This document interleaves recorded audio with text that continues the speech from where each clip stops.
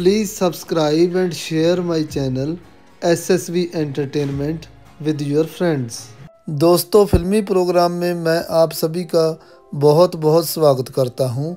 आज के इस प्रोग्राम में हम आपको हवा हवाई गर्ल, यानी श्रीदेवी जी के जीवन और फिल्मी करियर के बारे में बताएँगे दोस्तों, श्रीदेवी जी हिंदी फ़िल्मों की एक बहुत ही मशहूर और खूबसूरत अभिनेत्री थी उनका जन्म भारत के तमिलनाडु प्रांत के शिवकाशी में 13 अगस्त उन्नीस को हुआ था।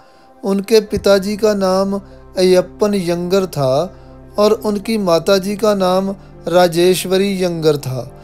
दोस्तों, श्रीदेवी जी के पिता शिवकाशी के ही थे, मगर उनकी माँ जी आंध्र प्रदेश की रहने वाली थी, इसलिए श्रीदेवी बचपन से ही तमिल और तेलुगु दोनों भाषाएँ अच्छी तरह बोलना सीख गई थी। श्री देवी जी का असली नाम अम्मा यंगर एयप्पन था।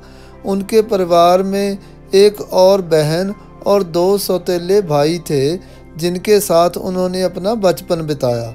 दोस्तों, श्री देवी जी की पहली शादी 1985 में मिथुन चक्रवर्ती, जो एक मशहूर फ़िल्म अभिनेता हैं, उनके साथ हुई थी। और ये शादी तीन साल तक ही चल पाई।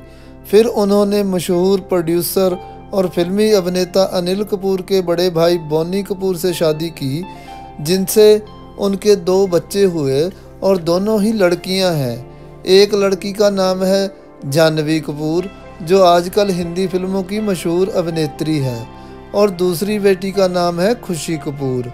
वो अभी पढ़ाई कर रही है इसके अलावा उनके परिवार में उनकी सौतेली बेटी अंशुला कपूर और सौतेला बेटा अर्जुन कपूर भी है, जो एक अभिनेता है। उनका अनिल कपूर के अलावा एक और देवर संजय कपूर है, जो उसे बहुत खुश रखते थे। दोस्तों, श्री देवी ने तेलुगु, मलयालम, कन्नड़ और हिंदी फ़िल्मों में बहुत काम किया। उनकी फ़िल्में और फ़िल्मों में शुरुआत कैसे हुई? उसकी बात करने से पहले प्लीज़ आप मेरे चैनल को सब्सक्राइब तो कर लो यार, ताकि हम आपको और जानकारियाँ भी दे सकें। अपने दोस्तों के साथ मेरा प्रोग्राम शेयर भी कर दिया कीजिए, और लाइक का बटन दबाने के साथ साथ कमेंट्स में भी बताइएगा कि आपको श्री देवी की कौन सी फ़िल्म अच्छी लगती है।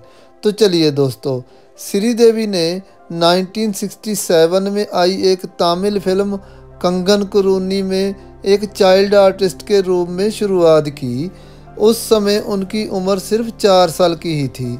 फिर उन्नीस सौ उनहत्तर में मलयालम फ़िल्म कुमार संभावन और 1977 में तेलुगु फ़िल्म बंगारक्का की।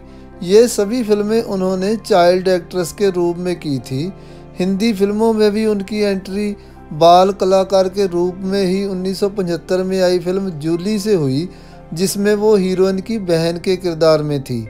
लेकिन हीरोइन बनकर उनकी पहली हिंदी फ़िल्म सोलवा सावन आई थी, पर उनको हिंदी फ़िल्मों में पहचान हिम्मत वाला फ़िल्म से मिली।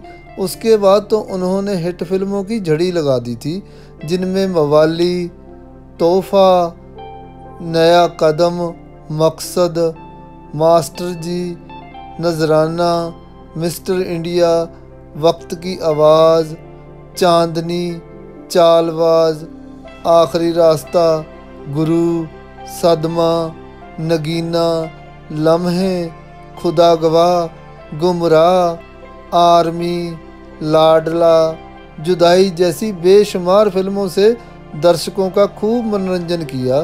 फिर बोनी कपूर से शादी होने के बाद वो फ़िल्मों से थोड़ी दूर होकर अपने बच्चों और घर संभालने में जुट गई। पर कभी कभी कुछ फ़िल्मों में नज़र आई, जैसे रूप की रानी चोरों का राजा इंग्लिश विंग्लिश और मॉम जो उनकी आखिरी फ़िल्म साबित हुई। अपनी अदाकारी से सभी का मन मोह लेने वाली इस खूबसूरत अभिनेत्री ने फ़िल्मों का हर अवार्ड अपने नाम किया, पर सिर्फ़ चौवन साल की उम्र में ही दिल का दौरा पड़ने से वो अपने परिवार और लाखों चाहने वालों को उदास छोड़कर इस दुनिया से चल बसी। पर उनके चाहने वाले आज भी उनकी फ़िल्में देखकर उनको याद करते हैं और रहती दुनिया तक करते रहेंगे। तो दोस्तों, हम भी अपनी ओर से उनको श्रद्धांजलि देते हुए आज का प्रोग्राम समाप्त करते हैं। कल मुलाकात होगी किसी दूसरे प्रोग्राम में। तब तक आप अपना अपना ख्याल रखिएगा। बाय बाय टेक केयर दोस्तों।